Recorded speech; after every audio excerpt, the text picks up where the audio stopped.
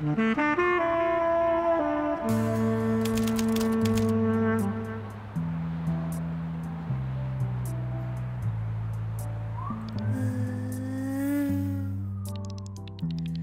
take the most important step towards unlocking the next mystery, opening and closing the office door. Light shines between the buildings of New Bug York through the slats in the blinds, illuminating a dame with legs all the way up to her thorax. The smoke swirling around the room conceals her voluptuous exoskeleton more than the dress she was poured into.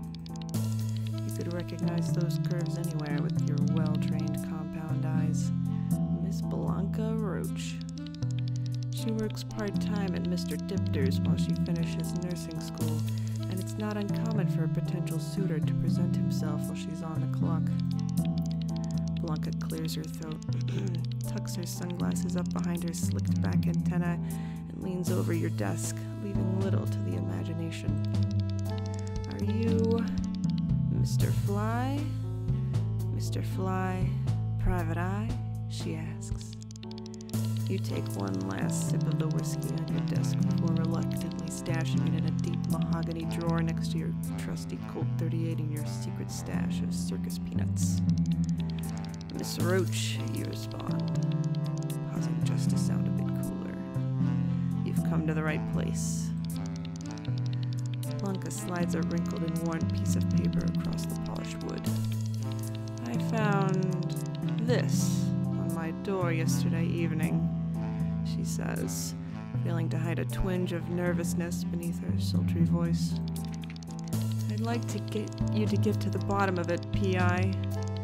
Quietly coughs again, covering her mouth with a well painted set of tarsal claws.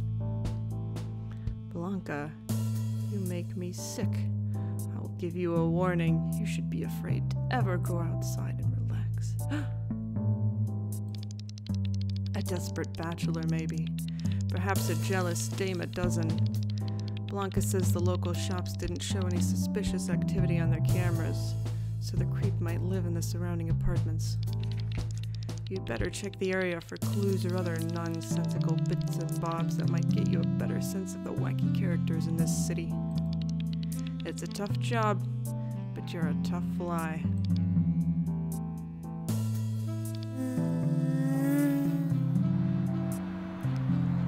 We're gonna look for uh, bits and bobs, you know? Anything that might belong to these wacky characters. Or something odd.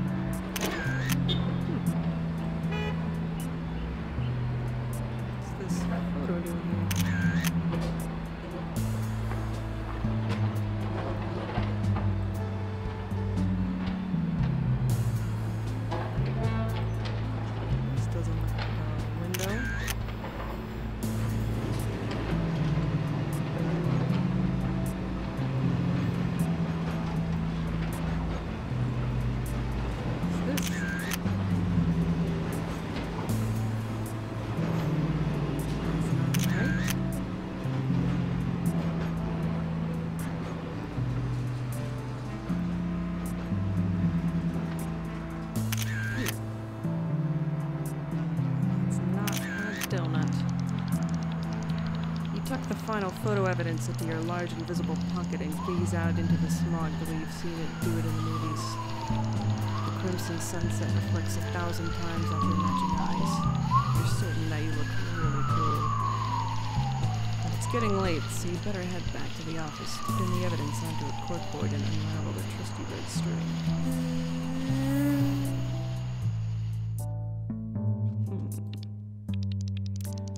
Snattely's oil stained Mr. Dipter's uniform. Snattely the snail. She works the counter alongside Miss Roach. Through your extensive network, you heard a rumor that she's preparing a discrimination lawsuit against her employer. Apparently, snails don't move fast enough for the capitalist regime. Perhaps Natalie has gotten jealous of her coworkers' attention and success. Ollie's tear stained photo of Snattely. Ollie the Earthworm. He should be a success story as the general manager of Exos, but the gals at the coffee shop gossiped that he got broken up with for working too much. He supposed that even the most handsome of gentlemen can't have it all. Maybe his romantic sorrows have driven him to lash out at something he can't have. Rose's ruined Exos merchandise. Rose the Rosy Maple Moth. She has two jobs but steals merchandise like this from at least one of them. You're not sure why she would bother to damage the clothes. You didn't think she was that kind of moth. She seems like a moth with a future wide open to her if she would just grab hold of it. Perhaps the threatening note is just the next step down her wayward path. Luca's draft of a future top pop. Luca the stag beetle. Not much of a stag. You know you've had passing business with his public defendant boyfriend. Luca is the beloved baker at Donato, but his constant singing makes it well known how much he wants to break into the music business. He could be envious of all the free attention that Blanca gets just for her looks.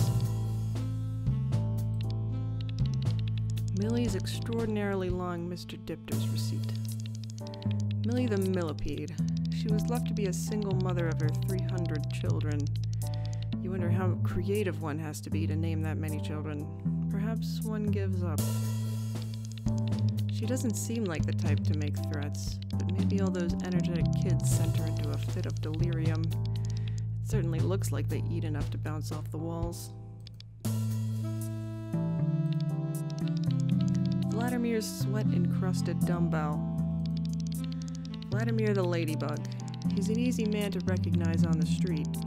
Won't be seeing another ladybug wielding such muscular guns. You know he supposedly works as a bartender at Thrift Strip, but it seems like he's at the gym every hour of the day. Your friend who drinks too much says he believes conspiracy theories about the secret fungi government. Maybe he's slowly built up enough delusions to crack. A lonely circus peanut. You don't think this is remotely relevant to the case, but its tender marshmallow constitution beckons to you. You tuck it into your invisible pocket for later. you squint at the board and ponder the situation. Every one of these unusually diverse clowns is a potential motive to play a creepy weirdo in this real life drama. Hmm, you say. Or was that the sound of your wings? If the culprit is a weirdo, better look for something weird. It took you all night to set up this blasted corkboard, so it's time to head out again. You grab a handful of circus peanuts for the road, for the sky, for that middle ground where you're in the air but not so high that you really want to call it the sky.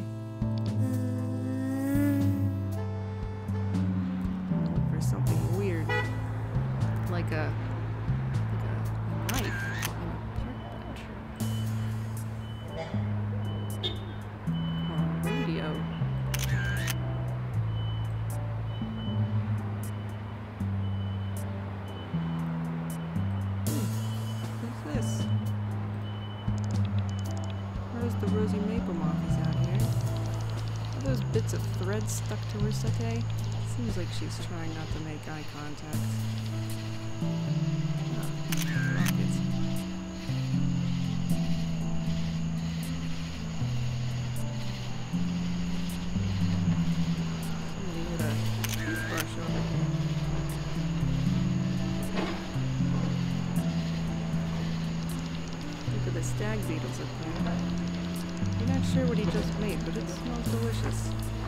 A little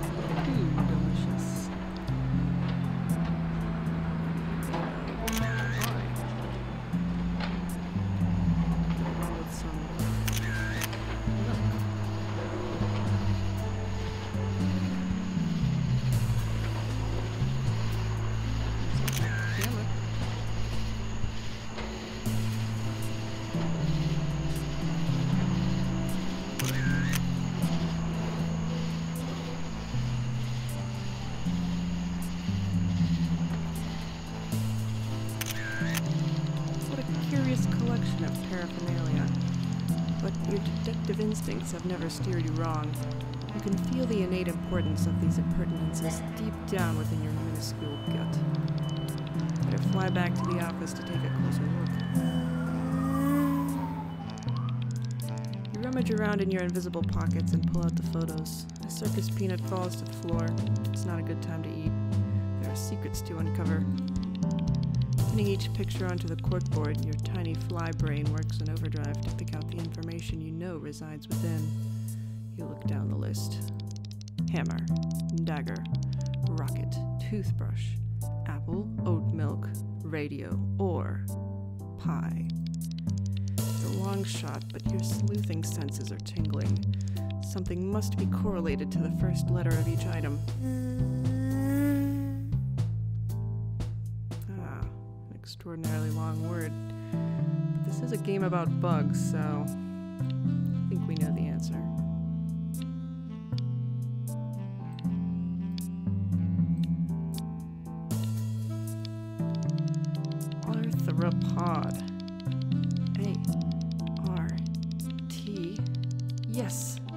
course. You should have thought of this earlier, you undeniable genius. There's no other bug in this town who could have put together this deduction so fast. Obviously, this rules out Snattily and Ollie, the only non-arthropods on the suspect list. Their slick bodies would have left an incriminating mucus trail outside Blanca's apartment door. That's two suspects to drop off the list, easy. But you can't waste any time here. Citizens of New Bug York are in danger with a fruitcake like this on the loose. There's still too many suspects remaining. You've got to cut down on the numbers.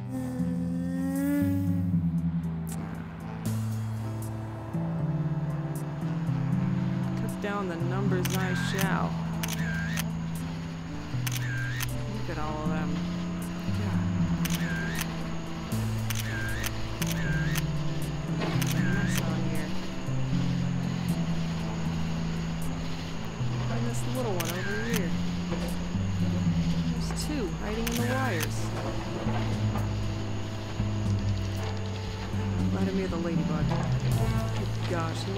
Stronger than he did yesterday. You could almost make out whispers about fungal conspiracies.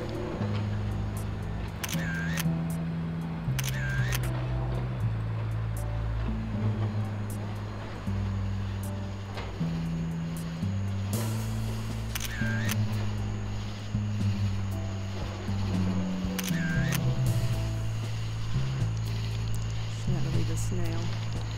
She looks more dressed up than usual, either to make someone jealous or for her court case against Mr. Dipter's.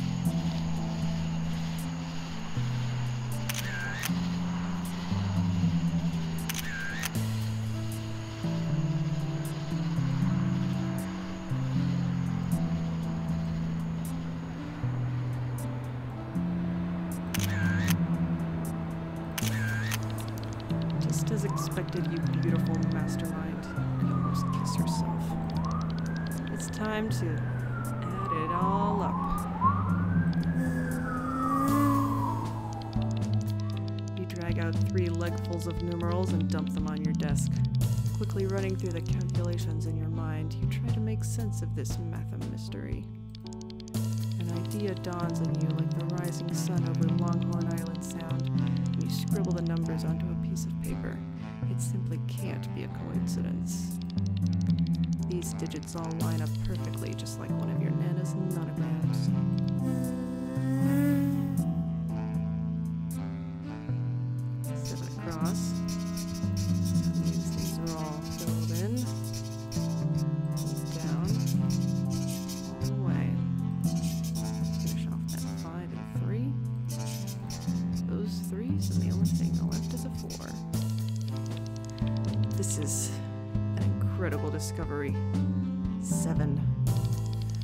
Precisely the same number of spots on Vladimir's shiny dome. This can't be. Your extraordinary deductive thinking is interrupted by the abrupt ringing of the retrophone you found at a C-list celebrity's estate sale. You lift the receiver to your antenna and jot down a report from your detective buddy who works in the precinct. He says that. Cripes, your second vintage phone is ringing. Another hysterical Missy with a convoluted mystery. You explained to the lass that you'd love to help her out, Toots, but you're up to your eyeballs in all this weird puzzle crap. You hang up. What was your buddy saying? Vladimir the Seven Spotted Ladybug was spotted in the gym at 7, the same time that Blanca heard noises outside her door. Another suspect to cross off the list. But this is still dragging itself out. You thought this would be an open and shut case, but it seems like it's more like finding a needle in a haystack. You think a needle would be too hard to find, so you'd rather look for larger sewing supplies.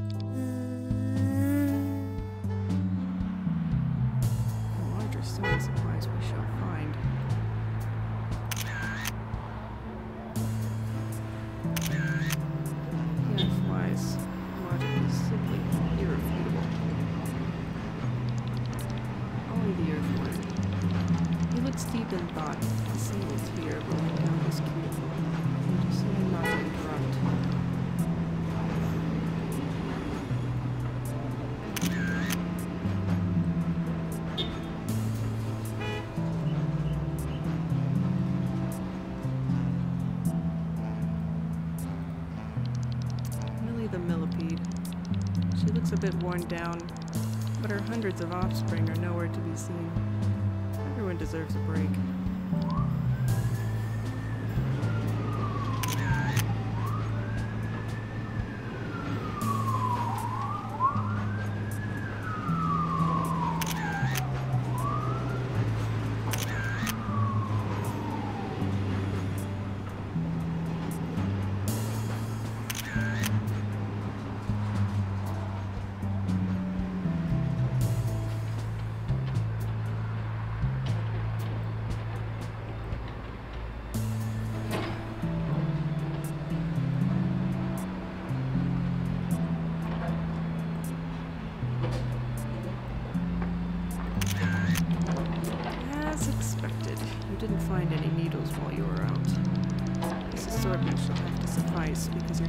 Bulging pockets couldn't possibly hold any more.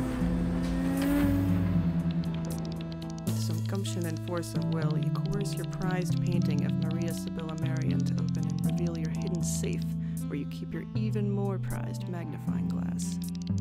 The daily number games you play keeps your mind sharp, so you have no trouble remembering the secure code. One to the right, two to the left, three to the right. Ka-chunk. Just need to take a gander and find the differences between the pairs of evidence.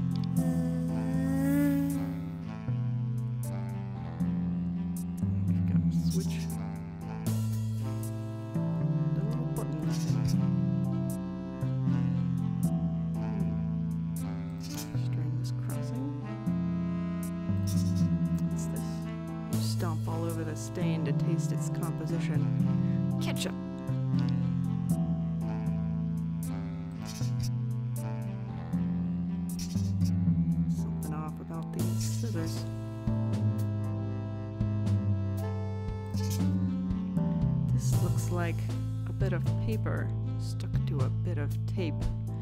Remember this in a moment.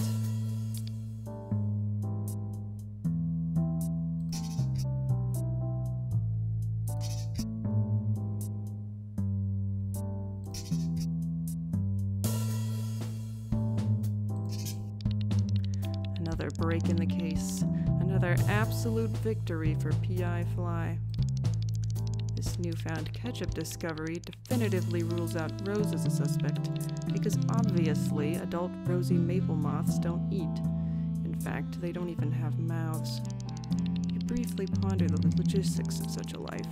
It's no wonder that someone like that could turn to a life of petty crime. You decide not to snitch on her. Snitches get stitches, like the ones she ruined. Although you'd be able to fix them with all the sewing supplies you've acquired.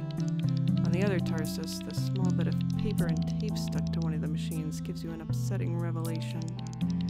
That note that Blanca found. What if there was more? What if this sick villain is threatening other innocent members of your public? This cannot stand. You must find out if there are any more pulpy traces of evil in New Bug York.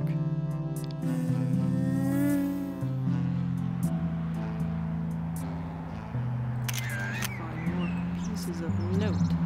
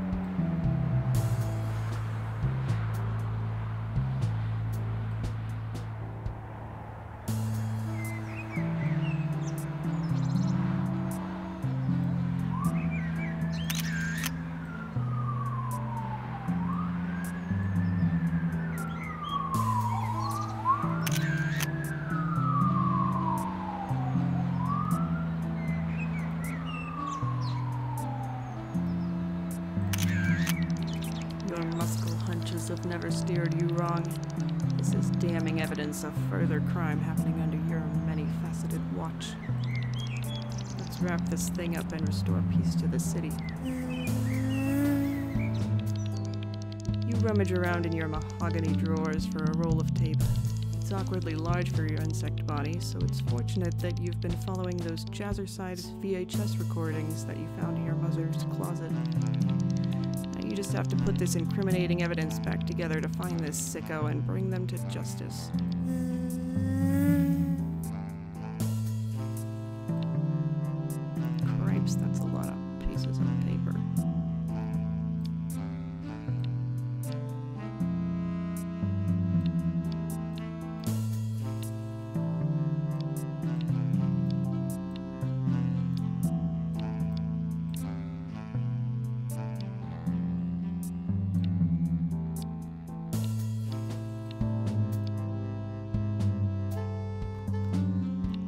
Thing that you're the world's best fly PI. Otherwise, this case would never be solved.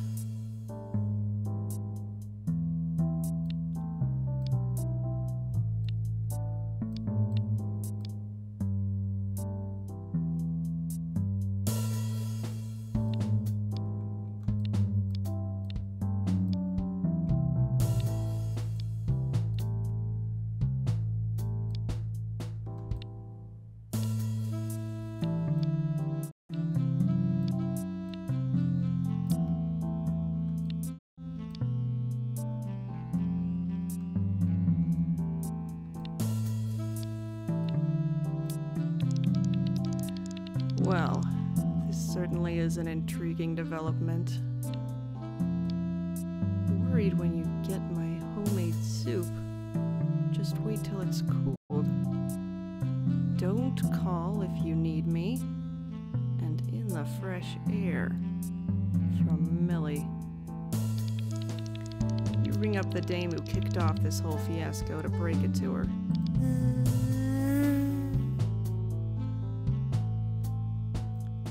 Your order. That's Millie trying to leave the note. And her kids.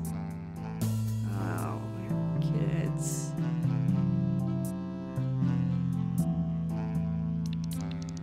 So you see, sweetheart, it was all just a misunderstanding, you say at the tail end of your explanation. Blanca stares sheepishly at your desk. Blanca, you make me worried when you get sick. I will give you my homemade soup. Just a warning, you should wait till it's cooled. Don't be afraid to ever call if you need me. And go outside and relax in the fresh air. XXX Millie. Oh. I suppose that accounts for the confusing things Millie was saying to me about soup during my last shift. I just pretended like I understood her to avoid dealing with an uncomfortable social situation. How embarrassing. You respond with a clever one liner that you spent the last 15 minutes thinking up. She's not impressed and begrudgingly hands over her payment. You've earned yourself 20 smackaroons for this bang up job. You even locked down another gig with Millie to help her figure out which dozen of her kids to scold. However, looking at your notes, it seems like your suspect list is now 300 bugs long. The end?